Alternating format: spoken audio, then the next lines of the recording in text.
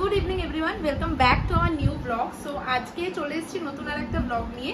But আজকের ব্লগটা বাইরে কোথাও নয়। আজকে বাড়িতে হঠাৎই ইচ্ছা হলো একটু স্যান্ডউইচ বানাবো। তো আজকে স্যান্ডউইচের রেসিপিটা খুবই ইজি এর আগে আমি বেশ কয়েকবার বানিয়েছি স্যান্ডউইচ। বাট এই ফার্স্ট টাইম আমি তোমাদের সাথে এটা শেয়ার করছি আর দেখতে থাকো যারা হোমমেড রেসিপি পছন্দ করো হোমমেড কিছু বানাতে পছন্দ করো, তারা এই স্যান্ডউইচটা বাড়িতে অবশ্যই ট্রাই করতে পারো। আমি শুরু করছি কি কি লাগছে, না লাগছে সবটাই আমি তোমাদের সাথে শেয়ার করছি। তো এখানে আমি নিয়ে নিয়েছি শশা গাজর আর আলু। সাথে আমি কর্নও অ্যাড করি বাট আজকে কর্নটা শেষ হয়ে গেছে বলে আমি কর্নটা দিচ্ছি না। আর এর সাথে আমি এগও অ্যাড করব। তো ভিডিওটা আমি শুরু করছি। এই কটা জিনিস দিয়েই আজকে হবে পুরো স্যান্ডউইচটা আমার। তো এখানে আছে এগ আর কর্ন কর্নটাও আমি হঠাৎ দিয়ে আনিয়েই নিয়েছি।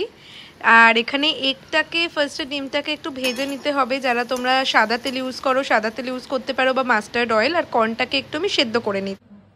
আর এখন এখানে তিনটে জিনিস মানে আলু গাজর কর্ন আর সাথে আমরা শসাও অ্যাড করছি। এই কটা জিনিস একসাথে মিক্সড করে নিতে হবে। হ্যাঁ অবশ্যই তোমরা আলুটাকে আর গাজরটাকেও সেদ্ধ করে নেবে। ওটা আর আমি তোমাদের দেখালাম না। সাথে কর্নটাও আমি দিয়ে দিয়েছি, পুরোটা মিক্সড করে নেব। তোমরা চেষ্টা করবে যে সবটা সেদ্ধ হয়ে যাওয়ার পরে কিন্তু শশাটা এটার সাথে অ্যাড করার জন্য। কারণ শশা যেহেতু একটু তেতো হয় তো শশা যদি প্রথমেই অ্যাড করে দাও একদম ফার্স্ট থেকেই, তখন কিন্তু একটু তেতো তেতো হয়ে যায় অনেকক্ষণ রেখে দিলে। আর সাথে তোমরা এখানে চিকেনও অ্যাড করতে পারো, যদি অন্য কোনো ভেজিস চাও সেটাও তোমরা অ্যাড করতে পারো। আমি আজকে আর চিকেনটা অ্যাড করলাম না। তো এটা আমি মেয়োনিজ দিয়ে ফার্স্টে এটাকে পুরোটা মিক্সড করে নিতে হবে। আমি এখানে হেমন্সের মেয়োনিজ অ্যাড করেছি। তো তোমরা চাইলে যে কোনো ব্র্যান্ডেরই ইউজ করতে পারো। তো মেয়োনিজটা দিয়ে পুরোটা আগে ভালো করে মিক্সড করে নেবে। কিছুটা মিক্সড হয়ে যাওয়ার পর আমি এবার এখানে অ্যাড করছি ডিম, যেটা কিনা ভেজে আমি রেখে দিয়েছিলাম। ডিমটা অ্যাড করার পরে আবারও মেয়োনিজ দিতে হবে। একটু বেশি মেয়োনিজ লাগে মানে আমি যেহেতু কোয়ান্টিটিটা অনেকটা বেশি করব বেশ চারটে পাঁচটা মতন স্যান্ডউইচ করব, তাই জন্য স্টাফিংসটাও বেশি আর মেয়োনিজটাও সেই জন্য বেশি লাগে।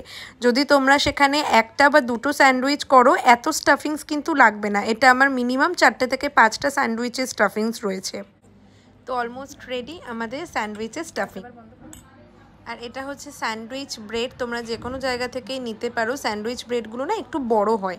আর এটা আমি এখন এটার সাথে দিচ্ছি, একটা সাইডে দিতে হবে পাস্তা সস, সেটাও তোমরা যে কোনো জায়গা থেকেই পেয়ে যাবে। যেই সাইডের ব্রেডে পাস্তা সস দেওয়া হয়েছিল, সেটার ওপরেই স্টাফিংসটা দিয়ে দিতে হবে অ্যান্ড একদম সবার ওপরের লেয়ারটাতে থাকবে চিজ আর আর একটা সাইডের ব্রেডে দেখো যেটা পাশে রয়েছে, সেই ব্রেডটাতে কিন্তু বাটার লাগানো রয়েছে। আর চিজটা তোমরা যারা যতটা খাও, সেই রকম বুঝে পরিমাণ মতো দেবে। তো রেডি আমাদের স্যান্ডউইচ আমি কিন্তু এই পুরো স্যান্ডউইচটাই নর্মাল গ্যাসে করেছি মানে তাওয়াতে, কোনো কিন্তু স্যান্ডউইচ মেকার ইউজ করিনি। জাস্ট নর্মাল প্যান দিয়ে, তার উপরে একটুখানি বাটার দিয়ে, দুটো সাইড জাস্ট ফ্রাই করে নেবে। সো কেমন লাগল জানিও।